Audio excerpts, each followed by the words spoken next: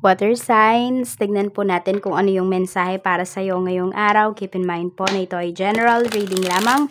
So, hindi po lahat ay makaka-relate. So, be open-minded. Sa mga hindi pa po nakasubscribe dito sa ating channel, please subscribe na po kayo and pa-like na din po ng ating video. At sa mga nais naman po mag-avail ng ating private readings, Lucky Stones and Amulet, makikita nyo po yung link sa description box below. So, tignan natin kung ano ba yung um, energy mo for today. Hindi lang pumapaling talaga yung ano natin. We have reunion. So, meron ba kayong mga imimit ngayong araw na ito? Could be your person. Ayan, makikita, magde-date yung iba sa inyo. Pwede rin someone from your past. Pwedeng makila, makita. Makita po ninyo ngayong araw na ito. Or sabihin natin kung wala naman yung communication ng tao na to, pwedeng makikita mo yung kanyang, ako na Facebook page, yung mga ganyan.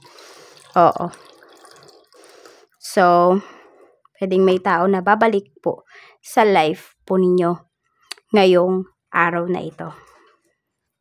Someone na pwedeng nag-promise sa'yo.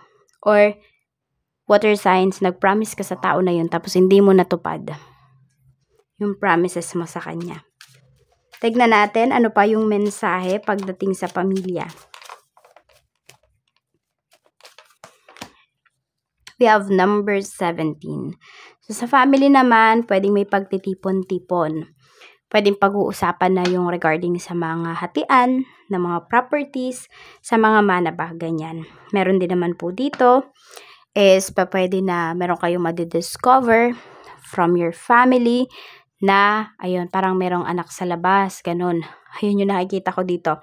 Water signs. Mm -mm. Tapos, meron din po dito, magkaka-reunion kasi pwedeng may ikakasal. So, pwedeng may celebration po dito. Mm, -mm. Kaya, ito, parang yung, sabihin natin, meron kasi ako nakikita ditong hiwalay na, sabihin natin, mga magulang ba, nanay, tatay, mga ganon. So, hiwalay. Tapos, um, yung anak, ikakasal. So, pasensya na po kayo, may si Dimitri yun, tumalon. So, ikakasal yung anak, ba diba? So, nagkita, parang ganun. Matagal na panahon, tapos nakita ulit. So, yan. Kaya parang may reunion po dito. Medyo heartfelt ito. Oo. Kasi parang yung, sabi natin, yung anak, ngayon lang nabuo yung kanyang family. Mm, -mm. Tignan pa po natin ano pa yung mensahe. Okay, we have number 30 naman pagdating sa mga kaibigan mo. So, mag-iingat ka talaga kasi pwedeng ito, may mga reunions nga kayo ng mga friends mo, pero di pala okay sa'yo. Or di ka pala okay dun sa mga tao na yon. Sabihin natin na pinaplastic ka lang. Mm, -mm. Pinaplastic ka lang. Water signs ng mga taong ito. Kapag may problema ka, hindi mo pala sila maasahan pero syempre, wag din naman tayong umasa sa ibang tao, 'di ba? Pag may problem tayo. Oo, pero ayun. Parang sabi natin ikaw naging totoo ka sa kanila, tapos yun pala sila ay hindi. Mm. Tignan natin. Pero kasi depende rin dahil yung mga tao naman, 'di ba? Meron naman tayong kanya-kanya pinagdaraanan. So, might as well is ayun, sabi ko nga sa inyo, trust no one, sarili nyo lang talaga yung makakatulong sa inyo. 'Di ba? As ma oo, kasi ay naku, iwan na kayo ng lahat yung sarili ninyo. Wag na wag ninyong iiwan. Water sign. So, yan. Pwede may kaibigan ka dito na balimbing. Mapagpanggap pa siya ganyan. Kapag mayroon ka, kadikit mo siya. Pag wala ka, sa iba siya nakadikit. Sa love life mo naman, okay? So, pwedeng meron dito mga single mom, single dad, ayan po. So, pwedeng, yun kasi yung mas iniisip ninyo. Or meron dito, um, ano yun, involve kayo sa mas bata po sa inyo. Or pwede naman sa mas older sa inyo. Ganyan. Pero mas lamang dito yung ano, mas uh, connect or mas involve kayo sa mas bata sa inyo, water signs. Ayan. Okay, kung kayo naman po ay uh, married na, yan pwede po na mas iniisip ninyo talaga is maayos yung relationship, yung marriage para po sa mga anak. So, yun yung, na, yun yung nakikita ko dito. Mm, -mm. Yun yung gusto ninyong mangyari. Kaya parang lahat talaga ng chances binibigay po ninyo sa inyong asawa. or sa inyong karelasyon, yung iba sa inyo. Kasi pwedeng nagli-live-in, ganyan. Para sa mga anak. So, nagsasakripisyo talaga. Hindi mo rin alam eh kung bakit ba hindi mo maiwan yung tao na yan. Kasi ang dami-dami niya nang binigay sa'yo. Nasakit ng ulo. Nasasabi mo na lang, ganun ba kalalim yung pagmamahal ko dyan? Tignan natin pagdating naman sa pera. We have naman number 21 pagdating po sa pera. Okay? So, dito naman sa money, parang uh, mas makaka-gain kayo ng finances kapag kayo po ay lumayo talaga. Water signs. Mm-mm.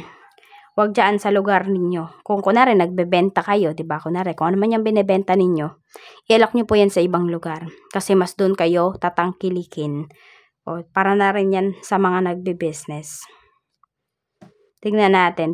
Kung napapansin mo, water signs, yung mga sumusuporta sa'yo, mas, yung mga taong hindi mo kakilala. Yung mga taong malalayo sa'yo. Yung tipong, ba, strangers, ganyan.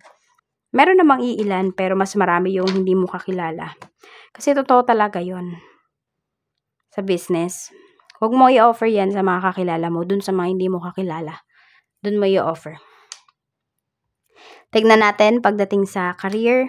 Okay, pagdating naman po dito sa career, nakikita ko dito pinaglalaban nyo talaga yung trabaho ninyo. What I mean pinaglalaban is ginagawa nyo talaga ng maayos yung inyong mga trabaho. Hindi talaga kayo nagpapabaya water signs. Kapag may sa inyo at kaya nyo naman talaga, ginagawa po ninyo. Pero nandun din yung, alam niyo yung limits ninyo.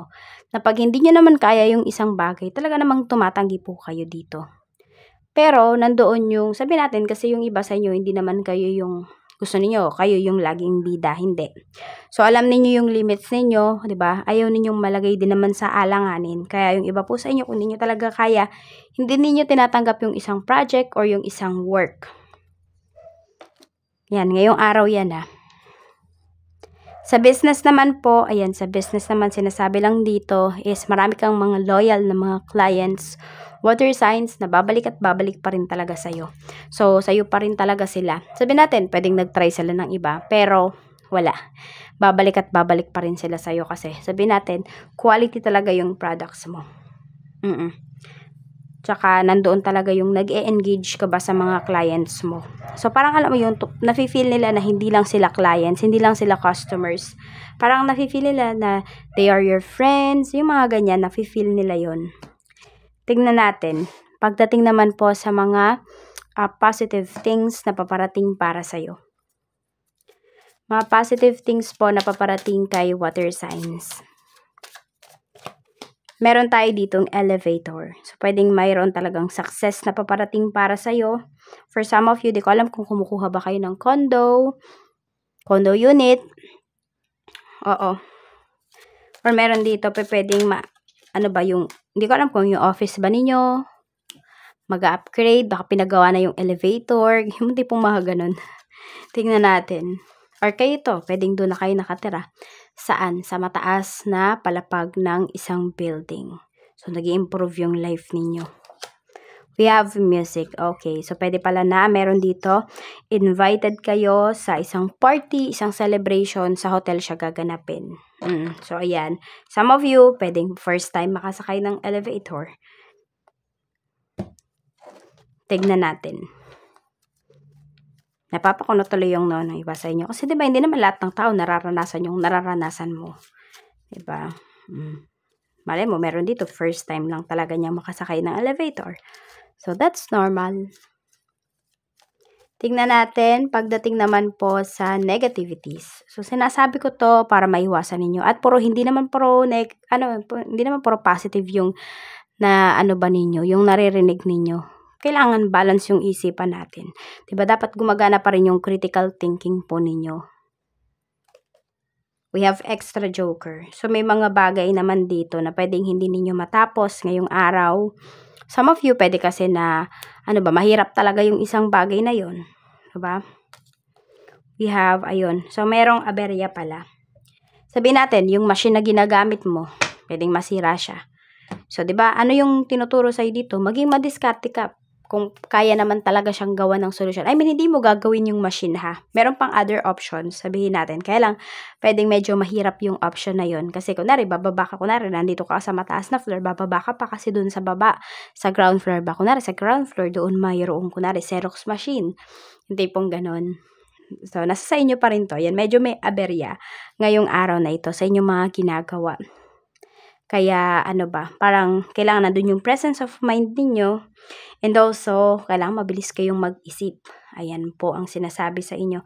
At ito po yung inyong mga lucky numbers. We have number 32, 23, 26, 21, 17, 13, and number 12. Maraming maraming salamat po. Mag-ingat kayo always. More blessings to come. And see you again on my next video. 拜拜。